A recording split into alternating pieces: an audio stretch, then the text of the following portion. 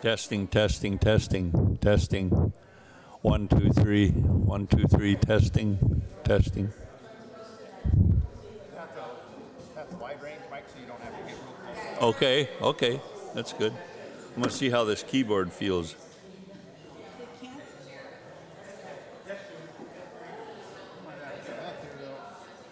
Well, that's all right. I was just gonna see how it felt. It, it'll be all right. Uh, Okay. yep. You can turn it on so it's ready. Well, I don't know where it goes on. Never like to monkey with stuff for right away. All right. if you have any questions about it, you gotta ask them. It's cool. You don't have uh, you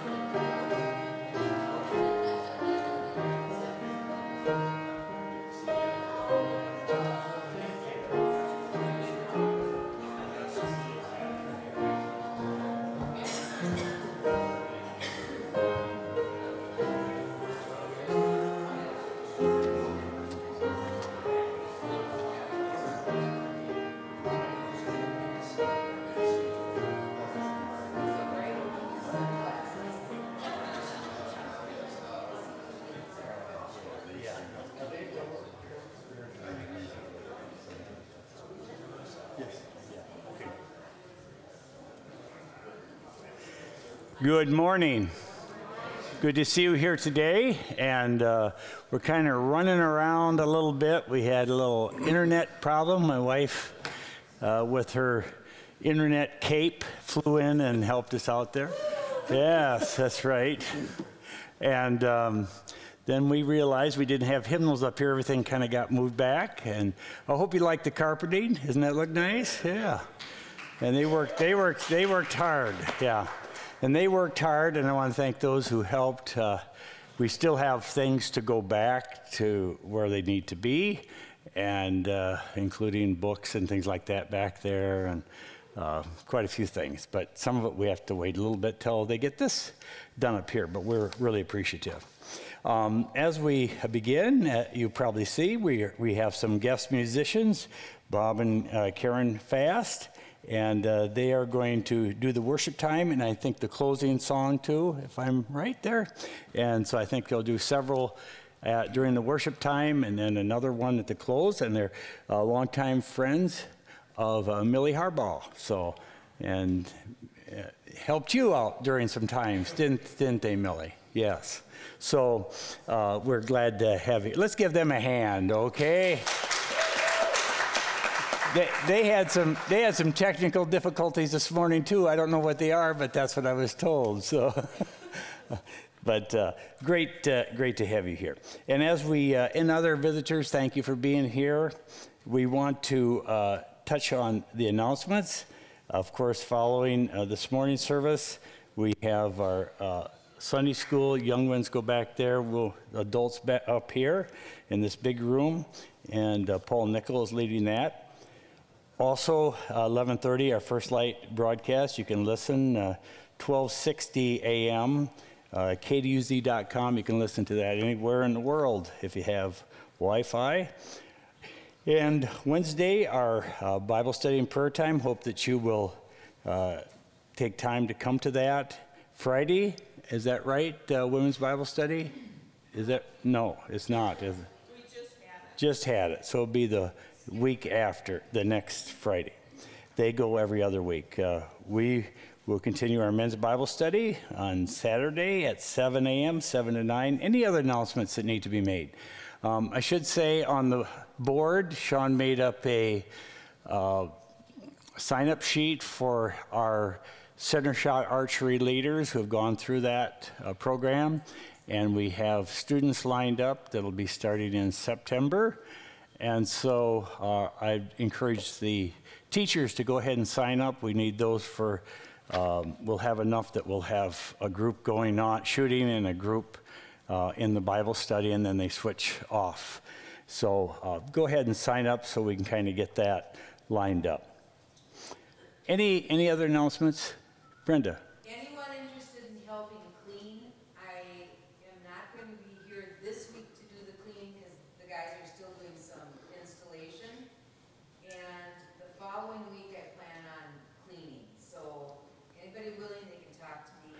Yeah, they, they, in this section here, uh, there was quite a bit of heaving, so it had to be ground down. So there were there was a lot of dust, and uh, you might have got some in your mailbox if you.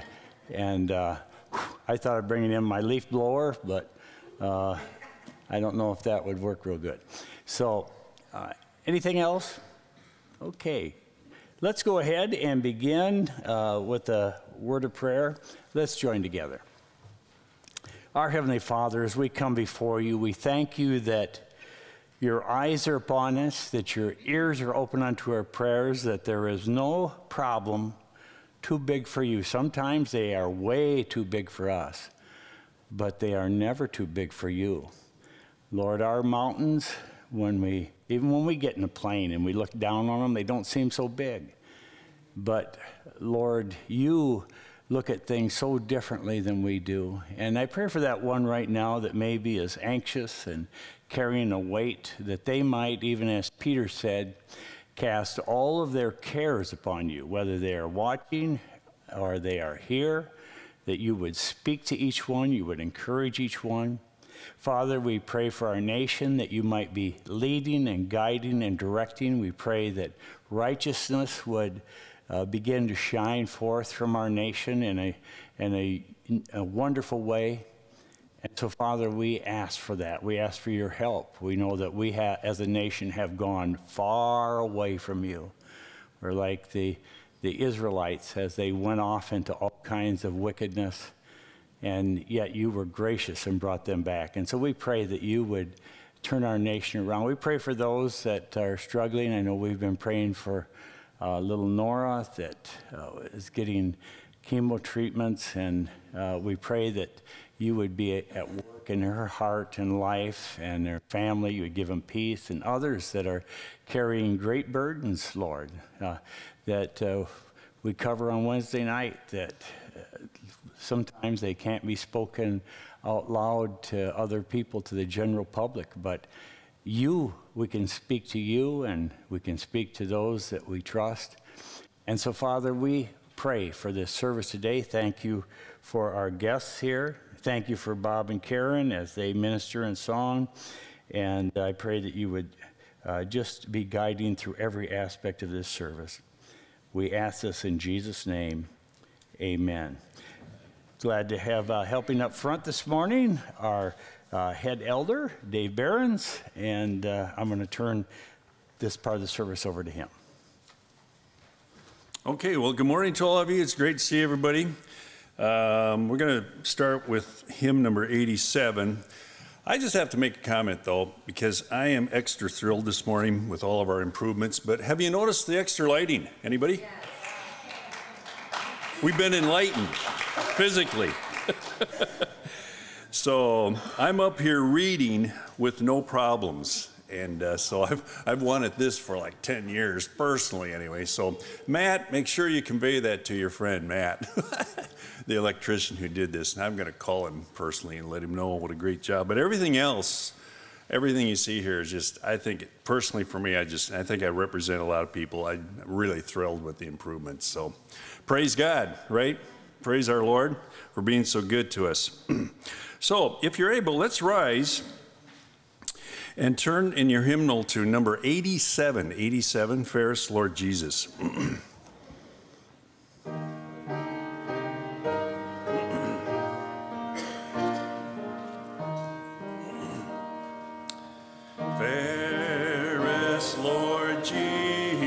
Jesus, ruler of all nature,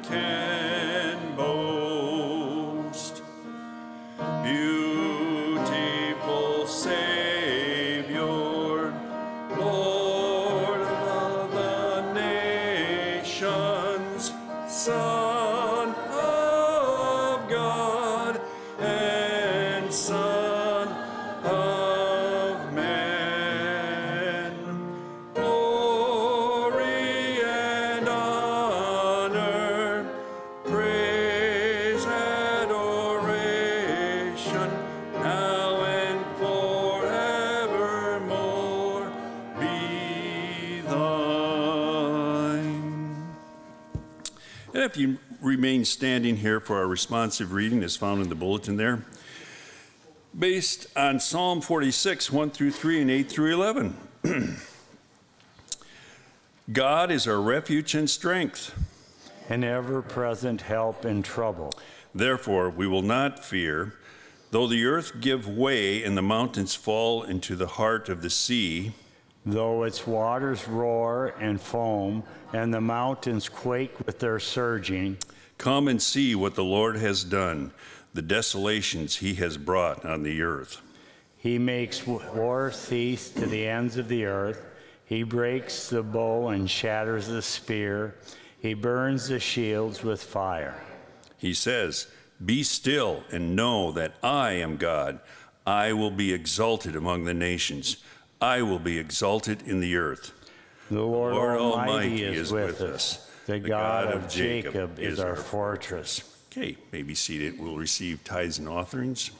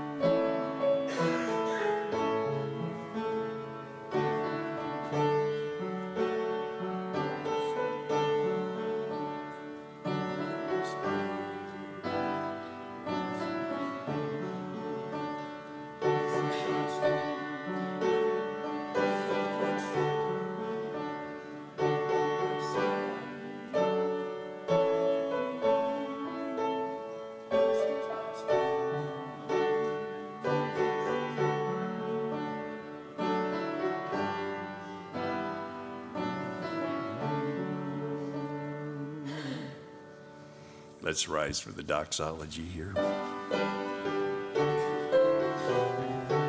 Mm. Praise God from whom all blessings flow. Praise Him, all creatures here below. Praise Him above, ye heavenly host. Praise Father, Son,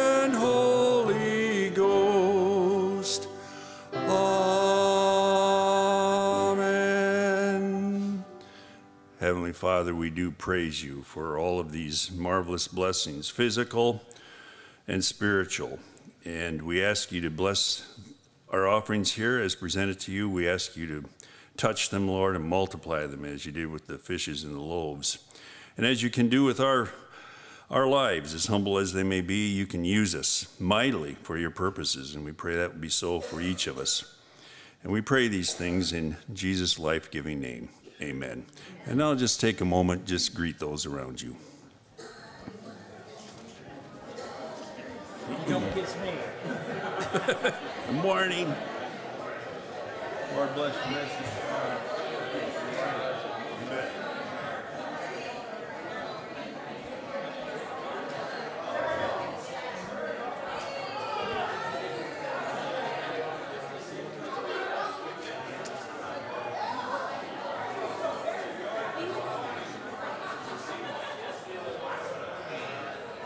All right, you can go ahead and take your seats.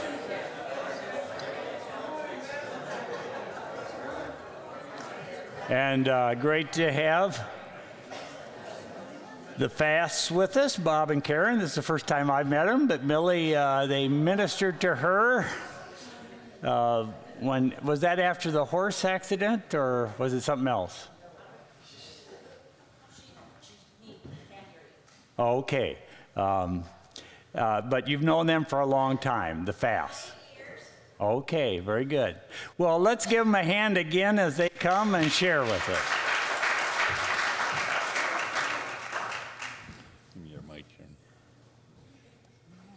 This is my mic. I know it I'm is. gonna turn it on. Well, good morning. Is Wait this on? I, I, No, got- it isn't. I guess I got a strong voice. I maybe wouldn't need it. Testing, there we go. Well, I got to clarify a couple of things. Uh, well, and I got to say something about Millie here, but. Uh, Oh, it always. First of all, I've seen guest musicians. I'm going to tell you something. It's uh, you know they always say self-deprecating humor is good. You know what I mean by tell stuff on yourself. When uh, in my high school years, if you wanted to sing in the choir, and you know what that was about, choir. You had a choir in high school. Okay, Karen, I know she sang in her high school. You had to try out for it.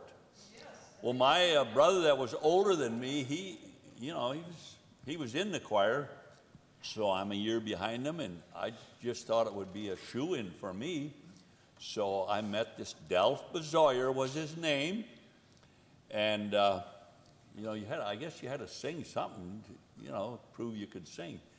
And uh, he says, "I'll let you know." And I wasn't accepted.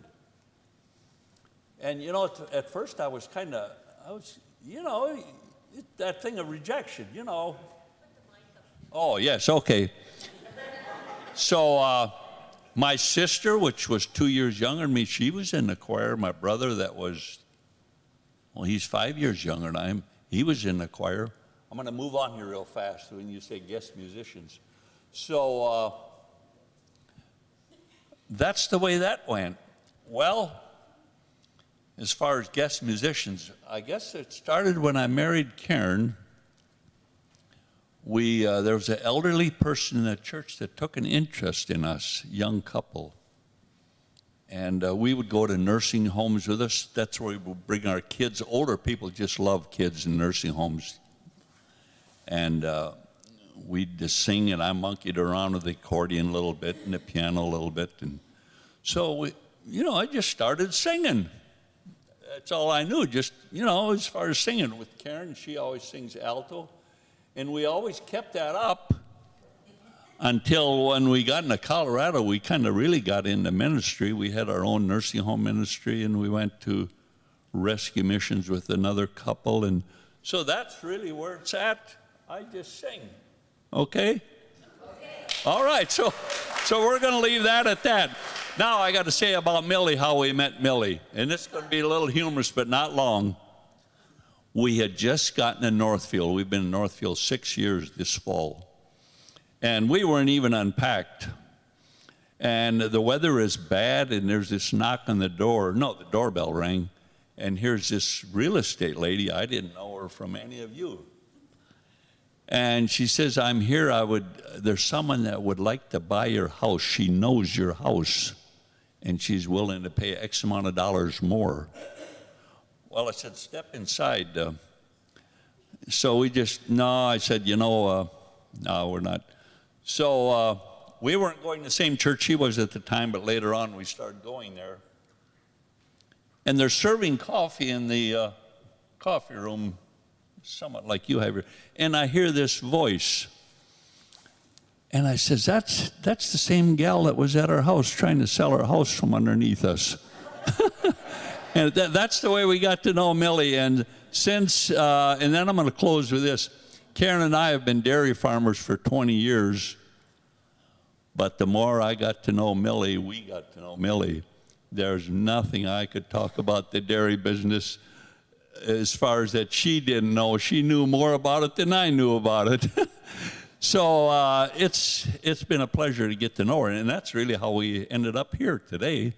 We talked about maybe coming down having something to eat, and we talked about coming to church. So, all right, that's all I have to say. Karen, you want to say something? We're here to sing a little bit. I'm, I'm just going to give a brief testimony this morning about my, uh, my pathway to heaven. I wasn't raised in a Christian home. I, I can't even remember even going to church. But anyway, when I was 16, I had a Christian friend in school, and she invited me to some evan- evangelistic meetings. And I went, and it's the first time I heard the, heard the gospel. But they, the evangelists, had everyone raise their hands if they knew without a shadow of doubt if they were going to heaven. And I couldn't. I had never heard it before that you could know you're going to heaven. And so that led, led me on a, a search for God. And the following, that was in the wintertime, and then in the following summer, God allowed me to go to a, a special, um, what do they call? Special, a conference in Medicine Lake, Minnesota. It was a special, I can't think of the name of it. But anyway, they, uh, they uh, shared that you needed to ask Jesus into your heart, confess your sins, and get saved. And that's where I, I went to, uh, they had an altar call. And praise the Lord, I went forward and asked Jesus into my heart. And my whole world changed, and I thank Him for it. Amen. So we're going to sing some songs about heaven today.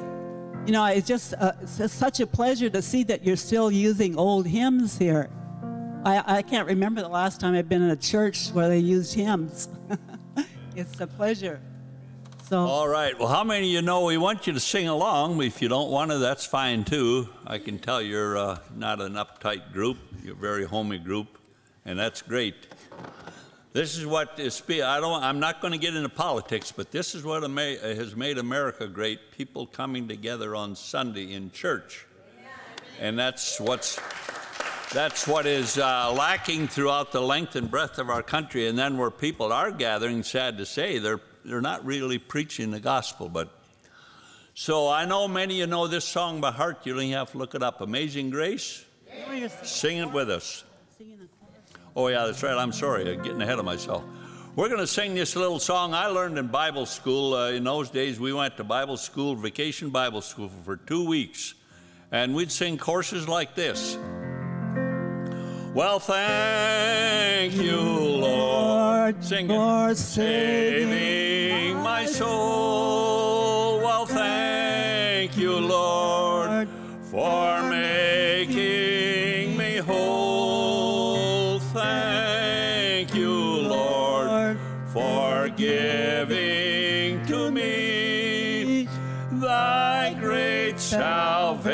salvation, so rich and free.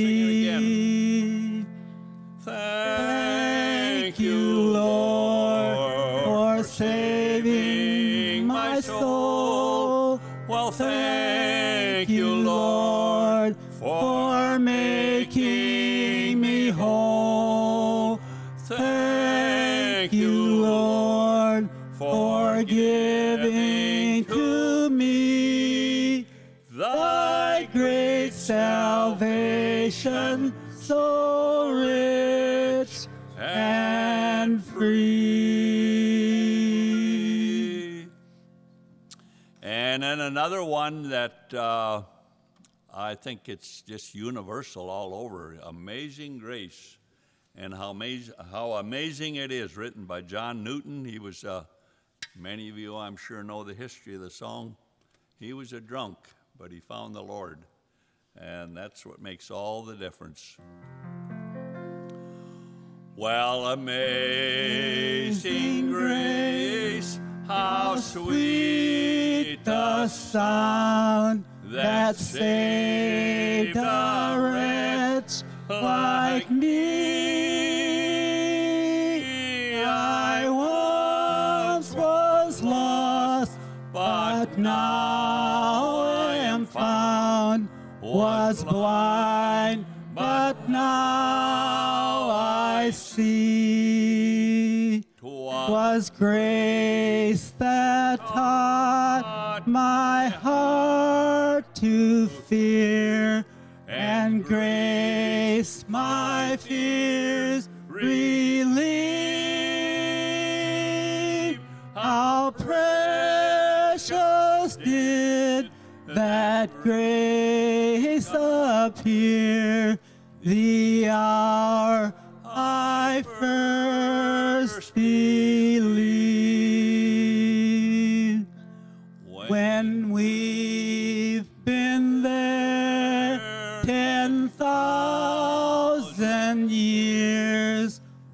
shining as the sun. We've no less days to sing God's praise than when we first begun. Just think of it. When we've been there, that's what we just sang, 10,000 years, we've no less days to sing his praise than when we first begun. That's eternity.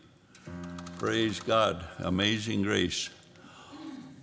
All right, another one. Uh, if you want to find it in your hymnal, we'll take time for you to find it. Since Jesus come in, it came into my heart. You know that?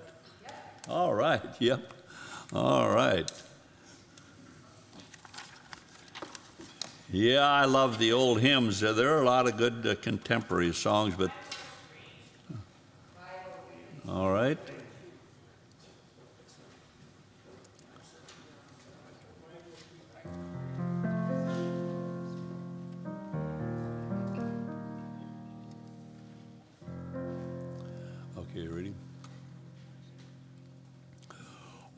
What a wonderful change in my life has been wrought since Jesus came into my heart. I have light in my soul for which long I had sought since Jesus came into my heart. Since Jesus came into my heart. Since Jesus came into my heart. Floods of joy o'er my soul like the sea billows roll. Since Jesus came into my heart. I have seen, I have ceased from my wandering and going astray since Jesus came into my heart. And my sins, which are many, are all washed away since Jesus came into my heart. Since Jesus came into my heart. Since Jesus came into my heart. Floods of joy o'er my soul like the sea billows roll. Since Jesus came into my heart. We'll do the fourth verse. I shall go there to dwell in that city I know, since Jesus came into my heart. And I'm happy, so happy as onward I go, since Jesus came into my heart. Since Jesus came into my heart. Since Jesus came into my heart. Floods of joy o'er my soul like the sea billows roll. Since Jesus came into my heart.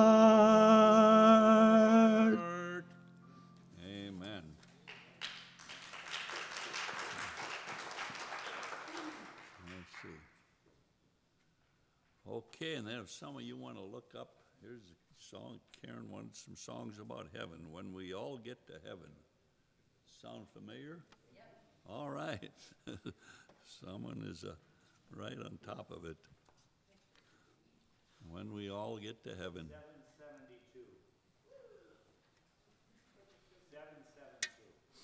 I, uh, I know there's chapter and verse for it. Uh, I'm, I think it was Apostle Paul said that in this life, if we only have hope for this life, we are of most men miserable. And there's a lot of truth to that. But beyond this life, we have life. And that's what we're singing about. You know, when we've been there 10,000, we're singing about heaven. So uh, let's sing about it. Praise the Lord.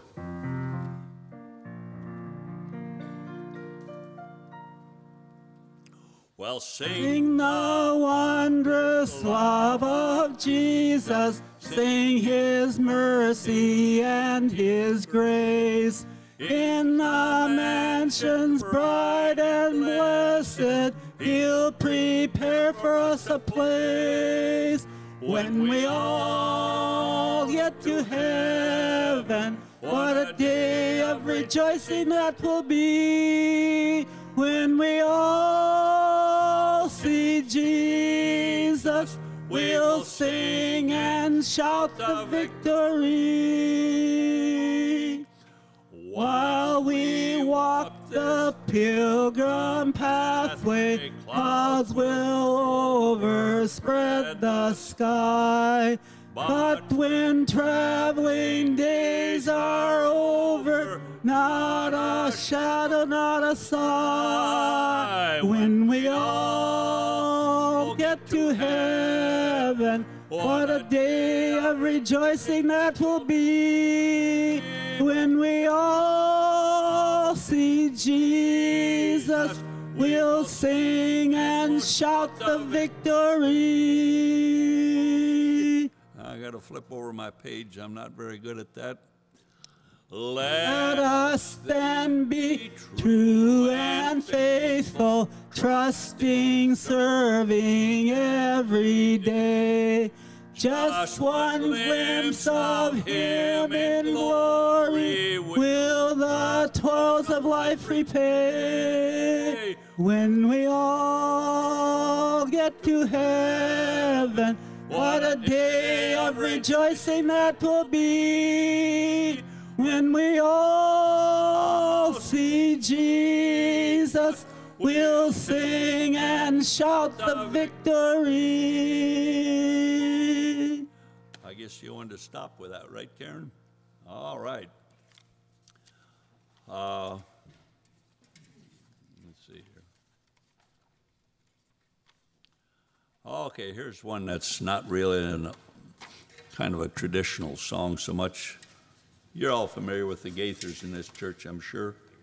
Yeah, all right. So it's uh, He touched me. He touched me. Lost my place here.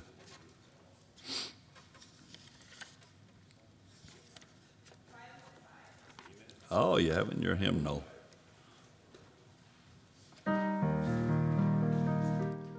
Wait for everybody to find it. Well, there's only two.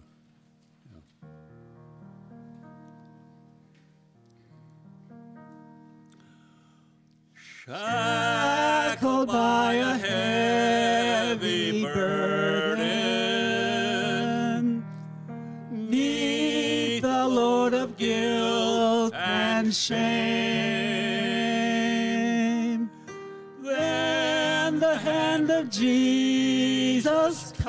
Me, and now I am no longer the same. He touched me, oh yes, he touched me,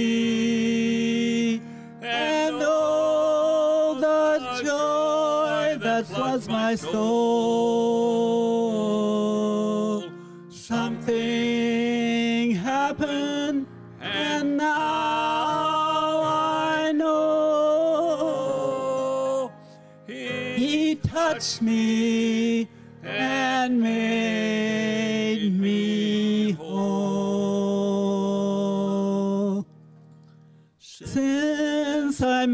This blessed Savior,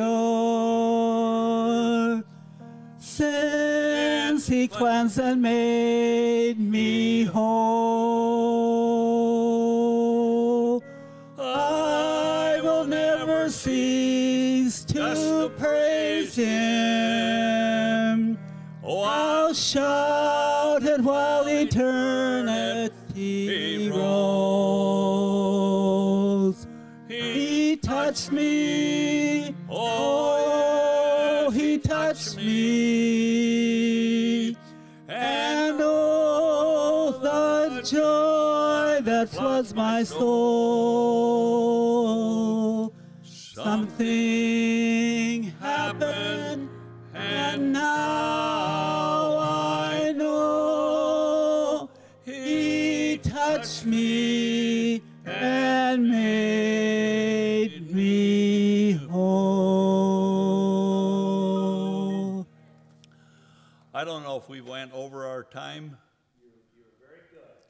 mean, you want one, you want to do one more song?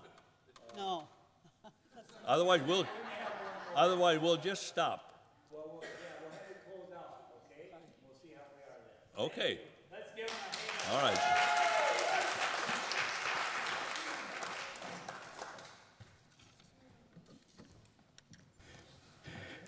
I think we're going to have to have you back and we'll just have a regular old hymn sing. How about that? If you have your Bibles, if you turn to Luke 17 in the children's uh, church, uh, they're welcome to go now.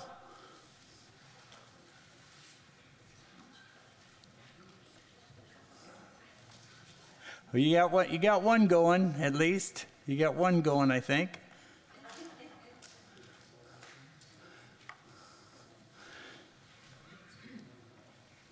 All right, uh, Luke 17.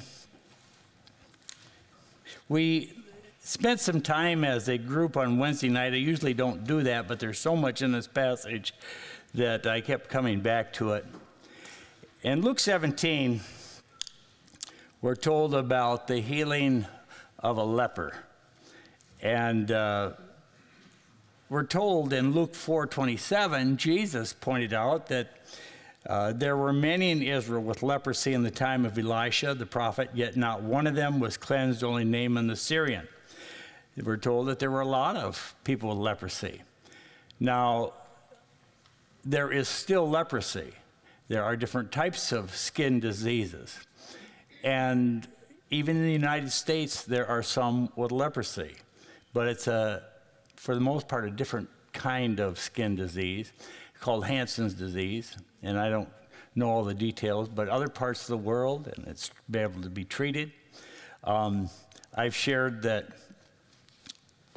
in my previous pastorate, there was a missionary that came and she told, she worked with a surgeon and uh, on people that had leprosy because their hands curl up and, and they become almost useless. So what he would do would do a surgery. But they have no feeling, and so they would, if they, you know, a lot of it is they burn themselves or they get an infection and they have no way of knowing what has happened, but it affects their, their body. And uh, what they would do, what the surgeon did, is he would uh, do a surgery so then they could use their hands. But there were so many rats in that area that when their hand hung over the side, they would gnaw off fingers. So what he started to do was send each patient home with a little kitty cat, and the problem was solved. You know, God can even use cats. Isn't that something? I know he uses dogs, but he can even use cats. And um, and that they would sometimes go to open a jar and they wouldn't know how hard they were twisting and the skin would come off you know that they would get infection and things like that well this was something that was extremely serious in fact in the old testament law someone with leprosy uh, they had to be separated they couldn't live life as normal even king uzziah was stricken with leprosy and he, he couldn't live in the palace he had to live in a little separate place and they would cry out, unclean, unclean. Can you imagine that type of isolation, being shut off no matter where you went? Uh, you couldn't go just anywhere. Well, here we're told about Jesus in verse 11 of Luke 17. Now, on his way to Jerusalem, Jesus traveled along the border between Samaria and Galilee. As he was going into a village, 10 men who had leprosy met him. They stood at a distance. You know, problems sometimes bring people together, and that was the case here. It was leprosy that evidently brought these men together. Who knows what their way of life was, what their occupations had been, but now their classification is that they are lepers. They have this horrible skin disease a leper would need to isolate them, themselves uh, from family and friends. And can you imagine just how lonely that would be? And to uh, feel as though you can your life is over as it was. Terrible. But God sometimes uses problems to help us realize our great need and to draw us to Jesus. God uses problems. We see the problem that was experienced. And then we see the pity requested. Look at verse 13. So here are these 10 lepers. They're standing at a distance and they called out in a loud voice, Jesus, Master, have pity on us. That was a corporate prayer. All of them. They wanted God's pity and God's mercy. And problems, even severe problems, are often things that God uses to turn hurting humans to Himself. They were crying out to Him because of their position. It's important for us to remember to take our problems to Jesus. I don't know what your problem is today. Everybody has problems, don't they? Everybody. It can be physical, it can be financial, it can be relational, it can be psychological, emotional, whatever it may be. Maybe loaded with cares or whatever, but they cried out to Jesus. They evidently had heard about him and they evidently believed he could do something. So that's why they cried out. He, he tried everything else. It's important for us to remember to take our problems to Jesus. And we see that sometimes corporate prayer stems from corporate problems. These 10 men with leprosy all needed Jesus to have pity on them.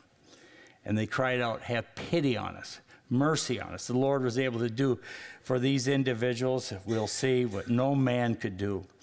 The request was directed at Jesus, and the request revealed their desperation.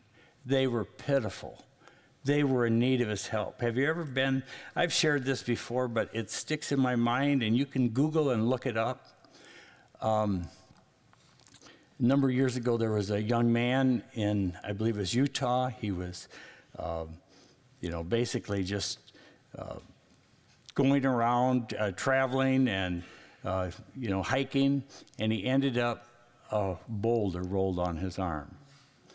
And he was pinned.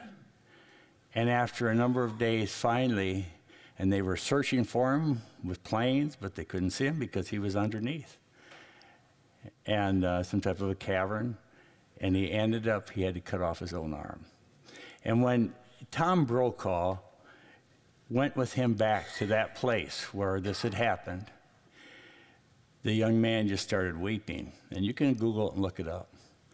And Tom Brokaw said, what, what are you feeling? What are you thinking now? Something like that. And he said, I just remember how pitiful I was. How pitiful. Have you ever felt pitiful? I have. Some areas I still do feel pitiful. I need God's mercy. And the Greek term that's used there is translated mercy or can be pitiful, but the idea of desperate need. What's the difference between grace and mercy. Some people have, deci- have defined uh, grace as receiving something we do not deserve, and mercy is not receiving what we do deserve. However, in this passage, we see that pity or mercy is a request made by these individuals in need of something, namely a miraculous healing. Maybe you need something like that. In Luke chapter 16, Jesus told a, a, story about a rich man and a beggar. You know that, rich man and Lazarus. And the beggar was laid at the rich man's gate, and he was licked by dogs, which were scavengers, the sores on his arms.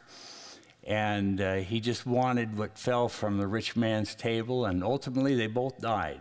And the rich man, who was clothed in fine linen, and he uh, had all kinds of food and delicacies. He died and ended up in a place of torment. And the man who had been laid at the rich man's table, he was ushered into a place of bliss.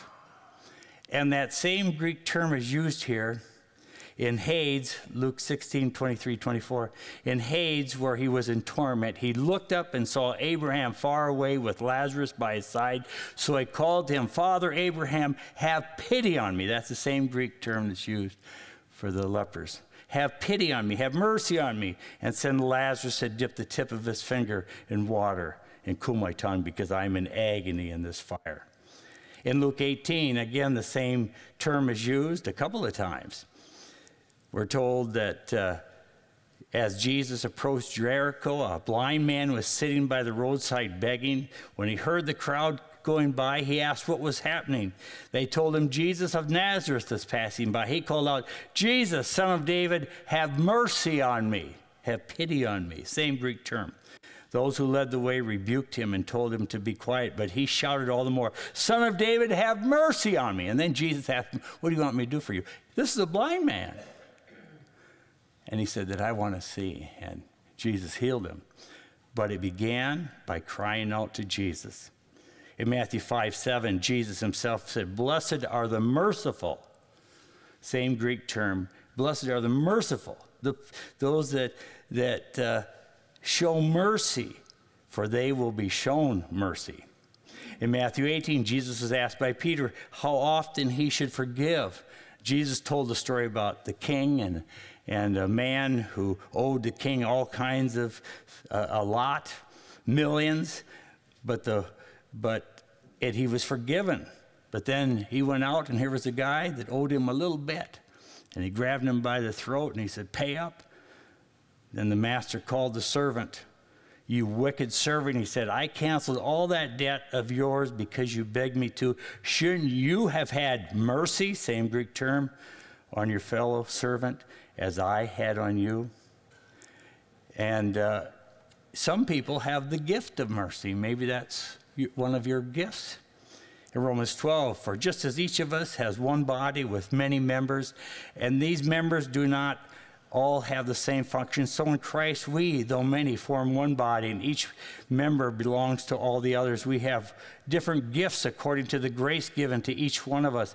If your gift is prophesying, then prophesy in accordance with your faith. If it is serving, then serve. If it is teaching, then teach. If it is to encourage, then give encouragement. If it is in giving, then give generously. If it is to lead, do it diligently. It, if it is to show mercy, do it cheerfully.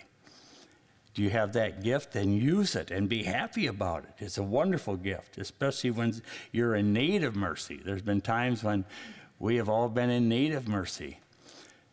Now, I have not been stopped by a law enforcement officer for quite a while. Not that I shouldn't, don't deserve that at different times. But I remember probably, well, gosh, this is 15, 20 years ago. And I was on my way, I got drawn for the moose hunt, and I'm by myself, and I got a canoe hanging out of the back, and I'm trying to get there because I get up to Ely to get in and then get back to where I want to get. And so I was behind this lady who was feeding her kids breakfast, evidently, because she was all over the road. She was going and reaching back and giving them stuff, and I couldn't get around her. The road was like this. Finally, she turned off, so I took off. And just like that, I met a, a sheriff. And he hit the lights and I pulled over. He said, You know why I stopped you? I said, Yes, I do, but I hope you'll show mercy. and he kind of went like this. And he said, Where, where are you going? I said, uh, well, I've got drawn for the moose. Oh, you did? He said, I've shot a, I've shot a couple when they get hit by a car. Then, and then, then I have this friend. we've butchered them, and uh, uh, how you how you hunting? I said, well, I have a longbow. So we got out. Next thing, he's out there looking at my bow, and we became friends. And he wrote me out a warning. He said, this is for. Uh, he said, this it's not going to cost you anything, but this is showing my boss that I'm at work, and you need to watch it. I said, well, thank you, thank you. He showed me mercy. But I will tell you, when I came out of the boundary waters without a moose, I drove the speed limit because that officer had shown me mercy, and I, I just was so grateful. It wasn't that I was going 100 miles an hour, you know, I was probably going 10 over. But he showed me mercy. If you have the gift of mercy, it's a wonderful gift.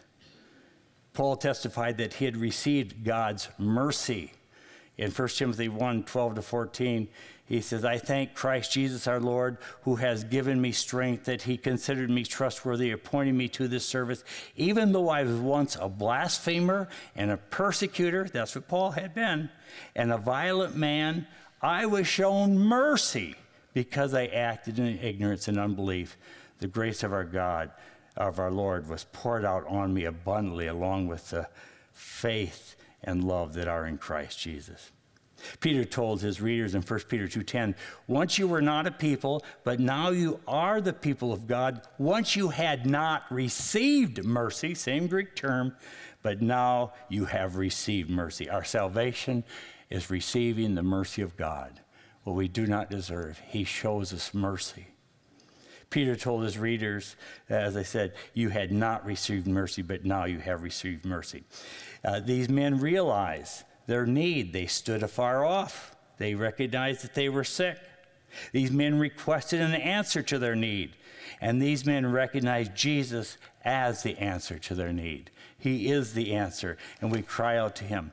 You know, growing up, one of the things that when I finally did start seeking the Lord was that my mom was faithful in reading the Bible every night. And when I was so empty and searching, I knew that the Bible had the answer. It still does. And I knew when I started on that search that somehow I didn't understand it. Remember, I had a New Testament, a Phillips Modern English New Testament that my parents had given me for confirmation. And where's this thing begin? Where's the, you know, day one or whatever? But as I searched, I fell in love with Jesus Christ. And I did fall in love with him. I don't know how he can love me, but I fell in love with him. And part of it because I saw how he responded to, to religion. And we're talking about a relationship. And I could identify with him. The problem experience, the pity, mercy that was requested, and then the prescription that was granted. Remember, we're in the Gospel of Luke. What was Luke as he began his journey with Jesus? What was he? A doctor. Now, Luke might have given some prescriptions, but I doubt if he ever gave a prescription like this. We see the prescription that was granted by Jesus.